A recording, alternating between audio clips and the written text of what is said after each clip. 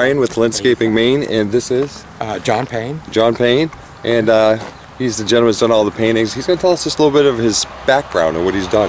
Okay. Um, I am a starving artist of 40 years, of course. Uh, within two and a half years ago, I was diagnosed with a, a cancer on my nose.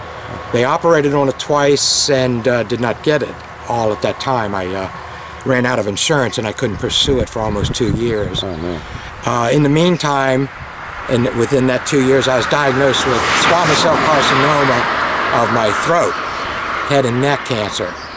And at this moment, I'm going through my radiation and chemotherapy. So, that being said, uh, and being an artist of 40 plus years, unknown artist, I um, went to my studio and pulled out about uh, 15 of my paintings that are also poems, painted poems. They tell stories.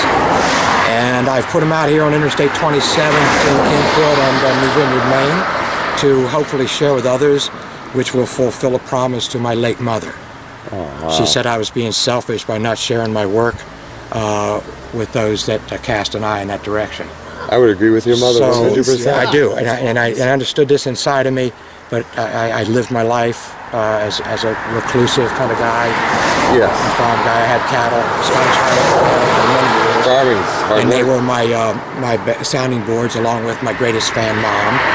Uh, where I wrote over 200 poems. I have written over 200 poems. I've written a manuscript of 80,000 plus words titled Tomfoolery by the Devil himself. And I Nice. and I also have a, uh, a manuscript of 26,000 plus words uh, and I've been working on it for several years off and on and it's a story in rhyme Really? yes I hope to be one of the first people that's ever wrote a novel even if I It- it- never get published, but at least for my own satisfaction. that would be amazing. A novel in rhyme. Yeah, it's a consistent How far? How far along are you? 30 couple chapters. couple chapters? Yeah. Do you have a name that you're going to call it? I, I, I do. It's uh, um, it's, it's changed a couple times, so I don't know if I want to. I'll, tell- I'll tell you what it is. Uh, and I and I thought this around, and the reason I give it this kind of a Mr. King name. Yeah. No offense to Steve, but I, I dubbed it Dog Holler. Doug Holler. Oh, wow. And yet it's not a horror story. It's, No. it's, a, it's, it's the uh, 180 degree difference of that. It's a story of morality, of common sense, of, of how nature has been trying to teach us for eons of time how to do things a simple way. And yet our kind, to include us, Yeah. human beings, have uh, We've fought it very yeah. hard. Yeah, we have fought it. Yeah. We don't seem For to want whatever to just reason, it's accept like it. yeah, it's like we're under some sort of a Yeah, we spell in a way. So uh, I was wondering if you'd like to maybe explain some of your paintings and how, what inspired you. All right. I tell you what inspired This is the poem I used to paint on. Oh wow, that's a beautiful. That one right there is what? Right, right I did that about, uh, it's an acrylic. All right. uh, of the farmhouse where my dad and mom lived, and then I lived. Yeah. I went outside one day and looked at this. Yeah. I never took a photograph of it. I never Really, went back out and looked again. I went up into my studio in this very house, this room right here, right there rather, Yeah. and I set up this canvas and I painted it from start to get to end almost consecutively around the clock with my acrylics until I thought it would look like my house and then I went outside and believe it or not if you go down there by that house today other than I changed the color a few years Yeah. ago it's that house That's amazing. it's that brook See, but this is bright I, I'm bold I'm a bold artist that is beautiful. I love breaking rules in color. I love to put a lot of realism in some areas uh, and purposely go more towards what I call a surreal than to even an abstract within surreal. You're I like making play. you're making it yourself. Can I ask it's you a my question? art. It's here. Yeah. You have to express yourself. Now, once you finish it, do you do you spray it? With, Uh-huh. No, none um, of these have ever been treated. They oh, hung in my studio. Okay. Uh, that would be something maybe if someone bought them and they had a certain. Oh, yeah. Some people have uh, funny. You know, want a gloss, you want a match, you want to. Yeah. And, Well- and so okay, it's still safe. It's cleanable. Oh, it, oh, it is. Because I was Yeah. wondering, do you think the spray? Do you feel your opinion? If there's a dog here, Does in it- it, I don't even charge extra for it. No, right. That's what makes right. it original. Be- But do you yes. feel it's like when Signature somebody stuff. buys one, or, or if you paint one yourself Uh-huh. or someone else, do you feel that the spray helps preserve them, or does it matter? Oh, you know what? Let me say this. I am a self-taught artist. I've made a lot of mistakes in art. I'm sure that That's that how you learn. The critics would say, "Oh no, you can't do that." And yet, if I did, I'm kind of proud of myself. Yeah. Sometimes you find I think of that as being clever. Geez, I made a mistake on that. You know, I did good. Yeah, Right, but I it found looks pretty something good. like- I I just like- figured something out nobody else has. Like That's when you painted one from years ago, Yeah. over time, do they tend to fade or if you don't spray them, do they Yeah, yeah, and they'll pick up you yellow or- uh, if you're a smoker, Right. your house odors. Absolutely. So you think Slacking that- or, or So the slacking does would preserve them a little bit, you think? Yeah. Okay, I yeah, wanted if- to, yeah, especially if you're thinking, and maybe you are. I'm hoping that hangs in the Smithsonian someday. Yeah. my feelings. then yeah, so seal that over, baby. you know. Yeah. for, a- for the future. It's beautiful. I mean, your work is absolutely beautiful. Yeah, good. Thank you. I, yeah, all of these are poems. Every one of them. They're poems. So, what, what part I of the like poem is this this? one. this Quickly one here? passing. Let me do this poem for you. Yeah, this is titled "Quickly Passing." Quickly passing. It's an acrylic. Um, I did this about 30, maybe 30 some years ago. The poem I'll do right now. All right. Bone chilling cold upon this midwinter day. Heavy wet snow collects upon me shivering shoulders, and on me old tattered hat it does lay. Subdued light brings early darkness before night, as deep dark gray clouds seem to pull the shade or a setting sun to block its ray, nonetheless not right. Frigid temperatures arrive, I have no place to stay. I am dressed not for this occasion, yet out I say, as shifting sheets of cutting ice crystals fall to obscure my only way. Oh, this is a frightening day. Suddenly, light appears upon a thin blanket of white, which tells of an early squall that brought dismay. Though ferocious and fearsome, this may be ending soon, and soon to be is what I pray. Oh my god, man, that is awesome. That- and that is that. the poem that goes with this painting right here. This man is telling a story. He needs to get it out there, guys. Come on. That is So, amazing. so as the story goes, uh, they diagnosed this cancer. They started a radiation and therapy at the same time. It's a, an advanced stage three. They uh, are hoping to extend my life so I can actually Continue. maybe do this. Yeah, share with others uh, to fulfill my promise to my, my, my mom. Norma Jean. My mom's name was Norma Jean Cradler. She's Indian. She's an Indian girl. Awesome. They picked up the last name because they were babysitters. Wow! That is so cool. Now, Yeah. I gotta tell you, like this one right here, this is one of my favorite ones. One color. It, it's it's got that, that dark I depth to it for I should, me. I should have brought them out. I have several that are just one color, and that's called a reverse oil. A reverse I, oil. I paint that all black. I'm getting ready to do one actually. I paint that all black, and then I take the color off of the cloth, really? and I, and that's all is there is the canvas and the color black. Do you have like kind of a poem with each painting, I do. or just certain I have over 200 poems. Wow. Yeah, I have more poems than So you kind of got like a story. Yeah, you caught with up on the paintings. Yeah. Because I, I loved it when you painted talked poems. about that one. That's just Everyone, uh, mother that and makes I. it so unique. I've never heard of somebody doing Here's poetry painting. It's incredible. You want to hear? Here's this. Actually, you can read this one. Uh, it's starting to come apart from dampness, but I, I wanted to make these for people that can't really afford. And I did this years ago, and it hung in my studio. It's got spider, but it can clean up. But this is just for a demo, um, because somebody could afford a print of this with the poem, Yeah. like this, Right. for a relatively ex- inexpensive amount. Yeah, inexpensive being. Not everybody could afford the original painting on their wall, and I get it. I can't. And now, how, here. how much does something like this one here sell for? Uh, well, uh, that, that I'm going to say about 275 Okay. without the frame. Without the frame. I just use my frames are all displays because they're expensive anyway. Yeah, and it protects them when they're out here too. Yeah, yeah, yeah, and displays them a little nicer. Or switch them around. Yes. But yes, and oh, here's a poem though that this can go out west, man, on YouTube. It's actually about sodium, potassium, magnesium, chlorine, calcium, and all this stuff that makes up everything that exists. And it's agitated by this, the slosh of the ocean. Really? It's a washing machine, Mother's Nature's washing Yeah, machine. yeah. Like Good way to look at that. Absolutely.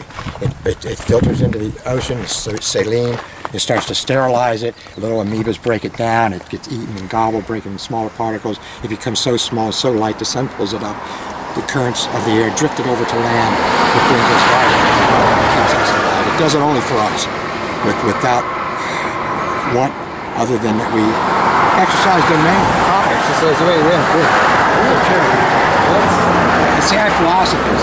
You don't keep pulling oil out of an earth when an oil is a lubricant, and then in the same breath try to scratch your head and wonder why tectonic plates are rumbling harder. Take the grease out of your wheel bearings, sir, and drive up down the highway for a while and tell me if the quake and the tremor and the and, and, Well, the, and that the makes friction and the damage won't increase by leaps and bounds quickly. Absolutely That will. So if we're sucking sense. oil out, we're making hollow areas.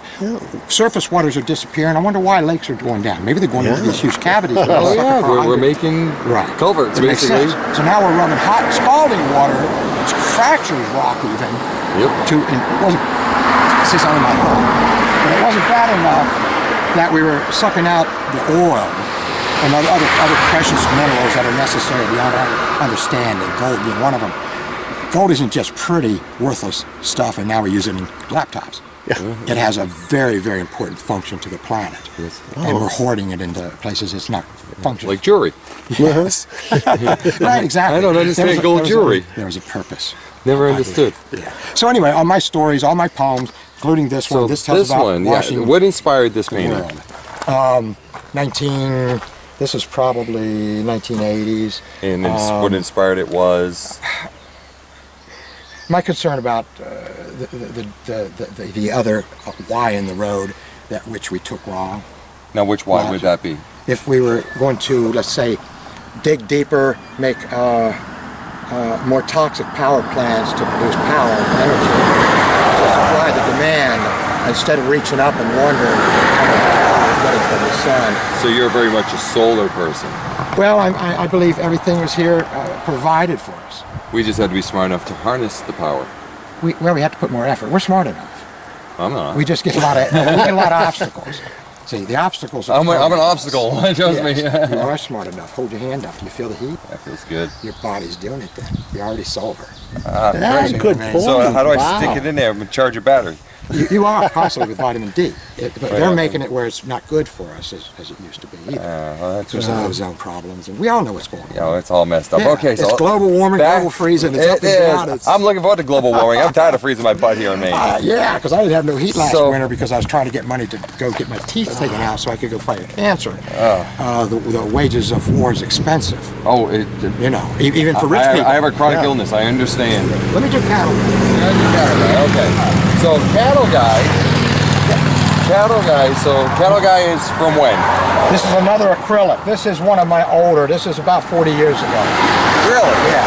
So how, drove- how old were you? When I was driving tractor trailers, probably about 20 when I just out of the army. Yeah. And I got a job driving tractor trailer. I thought I was a cowboy. In those days, starch, blue jeans, cowboy boots. People respected you, button down Yeah, shirts. absolutely. Mom and pops and mobile homes even called you on the CB radios. Right. Those were the days for truckers.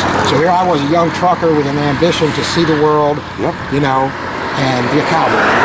So I was out west one day. I saw a surreal scenario, a mirage, if you will, from being tired, uh, all caffeined up, traveling to get to my destination on time. And I see this, and I never forgot that because this is kind of what I saw. So as I was trucking, I wrote a poem, Cattle Drive. Did the painting later, acrylic.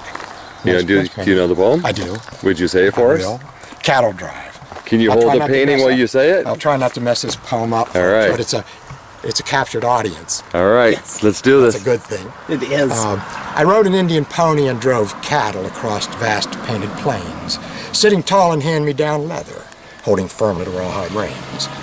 I was steady with calloused hands, sure as an eagle's eye, often riding through bad weather in a direction wild birds wouldn't fly. I persisted against uneven odds. I became sore from the ride in rough saddle. Spent many a cold night in the lightning and rain singing softly to nervous young cattle. On clear nights, I peered deeply through an azure sky to watch our only moon brightly shine, or to see a shooting star streak by. My ears have been lent to the echo of whippoorwills hidden among fallen leaves and the cooing of morning doves above in tall, sturdy trees. At times, I have been startled from the lone coyote yell, or the yearning of a gray wolf howl. And once, I felt buzzards patiently waiting and I was twice keenly seen by a great horned owl. Often I became discouraged from dank morning breezes, it seems, as I fought myself not to lose sight of necessary dreams. Yes, I've hidden from the unforgiving sun many times in the scorching desert. But truly I relaxed when camped by calm streams. Worry had been on my rugged face many times from the relentless demands of the drive. pushing for days without water to keep these critters alive. Now beyond the next mesa lie the edge of Cattle Town. So with help from hired hands upon well-managed horses, we will corral these doggies down, then ride like the wind from yonder stockyard and track to spend most of the night with a drink playing cards. Then after high noon auction, start our long journey back. Oh, That's that is awesome. amazing. And that is the name one more time of this? Cattle drive. Cattle Now, Pride. may I That just- is amazing. Should be in a museum. Okay, any of our viewers would like to purchase any of these, is there any particular way to get in touch? I'm going to give you guys, since uh, you're kind enough to take your time here, the formalities. I don't have business cards. I, Okay. I, am I'm, like I said, I'm, I'm, I'm, I'm fulfilling the promise. Right. Yes, sir. And I, it took me. And I admire you for my that. mom died in 2009 uh, after living with me for three years, and me promising her I was going to do this when things settled down. And it's taken me from 2009, a doctor telling me I, I smoked cigarettes for 40 years, and didn't you know you might get throat cancer? And the truth is, yes, I heard it many times, so it was my fault. So I ended up facing throat cancer, which put me on hold for these other years. Now, as I fight my throat cancer today, uh, and smoke free for two months today. All right, congratulations. You betcha. So how do we get in touch with you? We're down, we're down to one bar. Oh, uh, you can actually uh, find me at Ravensbrook Art on Raven- the internet. I don't really have a website. I used to, but I have to let it go. And your name Uh, again my is? name is John Paine. John uh, Paine, P-A-I-N-E? Correct. I am a direct descendant of Thomas Paine, uh, one of the signers of our Declaration of Independence, as well as a writer of which some of us have read, a book called Common Sense. If you haven't, it's a hard read, pick it up, it's thick. Good. You know, I never made it through high school, but I did it. Uh, I I just may have to read that. Do it. Well, I first of all. Patrick, and I would like to thank you, John, Yeah, so much for your time. I hope I hope And see myself. ho- ho- hopefully, hopefully we can get some people to notice your stuff. That'd be wonderful. Get in touch with you. Uh, highly recommend it. His work is the camera's not doing it justice. And as you know, he's a phenomenal man. He's keeping a promise to his mother, which I, I admire. I also have a, a, if you have time, I have a real nice studio I put together while I suffered from cancer last year. 200 year old buildings I joined together on Ravens Brook. And two great big picture windows outlook overlooking the brook. As soon as I get over my cancer and start making some money, I want to make it into a nice studio where people might be able to come visit me and enjoy my art. And while you're there, I'll throw you three, three techniques that will increase the quality of your art uh, within no time. Seriously. I'm serious. No, you're kidding me? I'm still. No, that's why I've given away three No. techniques. If they don't work, I'm like, But if you wanted, if you wanted to give lessons, he's. I mean, he hasn't done it for years. He's kind of giving it up, Patrick here. someday down at the end of this road, six miles. is- Now, is, which uh, road is this? This is uh, Horseback Road. Horseback Road. You live out there? Uh, this is. Your studio? I'm lying. This is 234 Valley Road. Valley Road. Yes. You're lying to us now, guys. Yeah, sorry. I'm just. That's how politicians get caught. Is the That's right. horseback road a right off this one? It is, and Okay, I I'm think the, the we've done cross farmhouse that before the horseback. Yeah. There's a farmhouse. Yeah. That is this painting. You'll recognize Oh, it. yeah. That's your old before they house. tore the barn down. Yes, last year. And I am just prior to that in a gray trailer. But my studio is act. It's, it's the brook goes like between our properties like Yeah. this anyway. So my art studio I'm working on is right there on the brook, wow. Ravens Brook, Ravensbrook. named after an old bull I had, a Scottish Highlander bull named Raven, that lived to be over 20 years. I had a cow I had to live 19 years and three months right there on my farm. That's awesome. Uh, they lived right on that brook. I titled it myself, Ravensbrook, and my Beautiful. studio is Ravensbrook Art. Ravensbrook Art. Well, there. day I That's amazing. Yeah. Again, thank you, John, so much. You're welcome, We appreciate it. guys. It was a pleasure talking to you. Yes, I'm just tickled to death that you uh, have And- gave me such nice roses. Well, I, I'm really hoping we can get you some. some If you, uh, if you think so- about it, I can write it down also. let's do this. If you uh, you want to write down your phone number stuff for us? That would yeah, be great. We'll do that. And, I'll we- try to get cards someday. and if you have internet access, we can write down our link for you. Right. All right, guys, we're gonna sign off with John. Thank you for watching.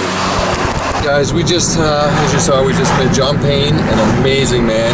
We didn't film everything he spoke of, and he's very intelligent. Gosh, yes. And what we're going to do is we're going to do this video up for him, but then we're going to go to a studio and do a really good one with multiple cameras and let you guys hear more about what he's got to say and his philosophies and things that he's learned. Um, just he, he's one of the most interesting people I can say that I think we've ever met. Yes, he really is was very He's a good thinker. So this watch this video with John. Obviously, you did. Thank you so much. Support John and his fight with cancer. And And if you like his paintings, contact either he or us, and we'll get you in touch with him, and you can buy a painting from him. like I said, we're gonna go to the studio. We're gonna do a part two. So there's gonna be a part two with this with this wonderful man named John Paine. So hang in there and be sure to stay tuned.